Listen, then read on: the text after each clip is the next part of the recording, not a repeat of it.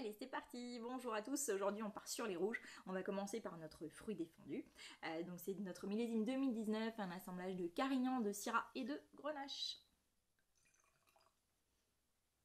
je sens déjà d'ici. On va parler des yeux d'abord. Euh, du visuel. Donc au niveau du visuel, euh, on a un vin qui est très clair, qui est rougeâtre, hein, mais très clair. Donc ça, ça laisse présager d'un vin qui va être assez léger. Effet au nez, hein, il est très concentré, il est sur les arômes de fruits rouges, les arômes de baies. Euh. Ça sent très très bon.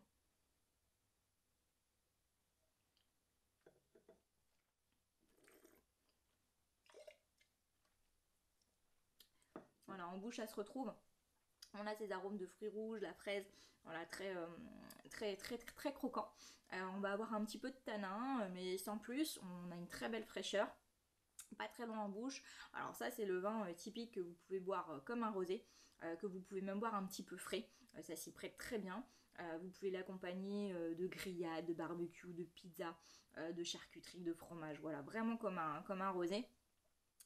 avec la petite touche en plus, c'est ce côté un petit peu tannique acide. Donc ça c'est top parce que si vous voulez aussi l'accompagner pendant tout un repas, c'est possible totalement.